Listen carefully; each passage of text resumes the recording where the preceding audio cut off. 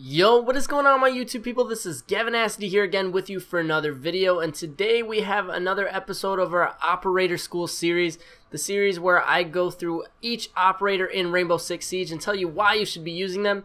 And this week's episode we will be doing Fuze. Now, the way I will be grading each operator is by a 1 to 10 scale in three different categories and a final overall grade, which the three categories are weapons, gadgets, and versatility.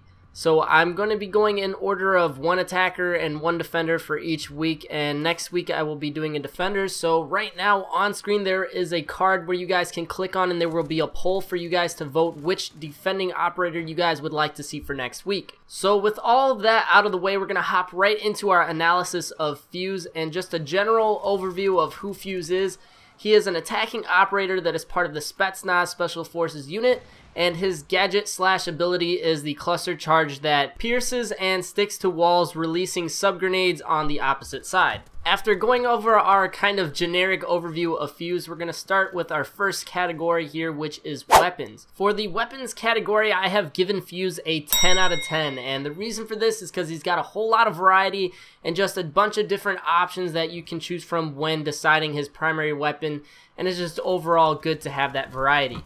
Now, Fuze has an option between three different primary weapons. First off, his AK-12, which is an assault rifle that does 44 damage, 850 fire rate, a 40 mobility, and a 30 round mag. The recoil is absolutely beautiful. It's exactly what you would expect in an AR. It's just very tight groupings and just overall a very easy weapon to handle. So personally, ways that I would like to run this would be using the reflex sight, grip, and the compensator just because you want to get the most out of the damage since it is a high damage weapon. Probably one of the highest in the assault rifle categories, but putting a silencer on it will kind of weaken that. But if you want to go stealthy, it wouldn't be the end of the world if you put a silencer on. Next, we have our 6P41 LMG. Now, this gun kind of reminds me of the PKP Pecheneg, and here in Rainbow Six Siege, it does 39 damage, and it has a 680 fire rate while having a 35 mobility which is really really slow and it's kind of clunky trying to walk around the map with this gun. But on the bright side it does have a 100 round mag so you can just absolutely empty into your enemies and not fear having to reload.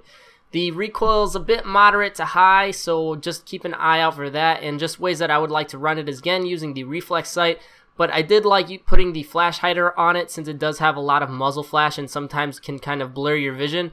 And then finally we have grip.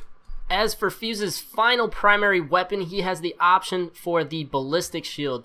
Now the ballistic shield does have 30 mobility, which is again pretty darn slow and it just kind of feels sluggish trying to move around the map. And he has an option between two pistols when using the ballistic shield, which is the PMM and then the GSH-18. Now personally I like to go with the PMM just because it's a little bit stronger although the mag size is smaller.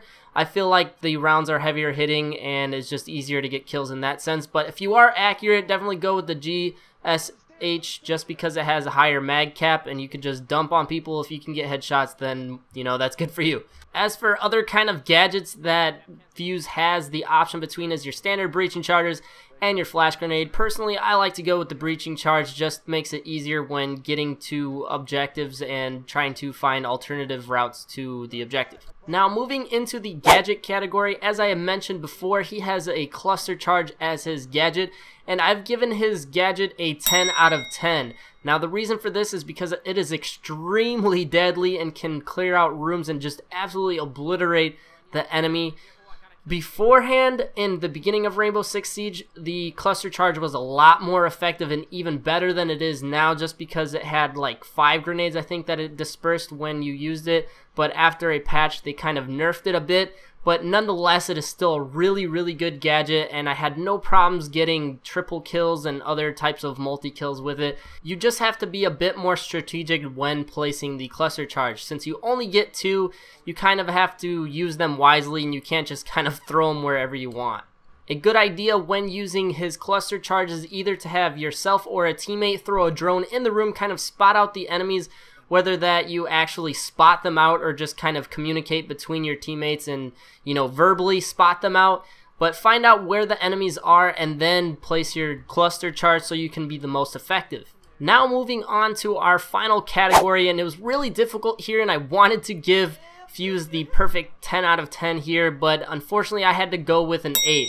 And the reason behind this is because Fuze is kind of handicapped when playing the hostage game mode. You will absolutely 100% kill the hostage if you put the cluster charge anywhere near the hostage, causing you to lose the round, which can be very frustrating. I've seen it happen uh, from both my teammates and the enemies. You can get some sort of lucky win or loss, which can be pretty frustrating. So with that said, Fuze is not 100% perfect, but you know, you can still use him on hostage. You just have to be a lot more cautious where you're going to put your cluster charge. And I would definitely recommend not putting the cluster charge anywhere near the hostage. Now, also the reason why the versatility is at 8 is just because Fuze is pretty slow. He has 3 armor and 1 speed, which can be good and bad at the same time. It just gets a little bit hard when you're trying to run away from, you know, sticky situations and you want to just get the hell out of there. But at the same time, he can absorb a whole lot of damage and kind of be tanky. So Fuze's final overall score is going to have to be a 9.3 out of 10 and again that is just due to the versatility and the fact that he is kind of handicapped when playing the hostage game mode. So my final thoughts and why I think you should use Fuze would be to if you were trying to be a tanky operator with just absolutely amazing weapons an extremely good and deadly gadget, and also has high versatility. Again, he's just not completely perfect, so he doesn't get that perfect score, but just overall one of the best operators in the entire game. So that is pretty much it for this video. If you did enjoy it, please hit that like button. Let's try to see if we can hit 80 likes on this video. And again, don't forget to vote on which defending operator you guys would like to see for next week so I can go ahead and get that set up. And if you haven't already, please subscribe. As usual, you guys have a good one. Peace.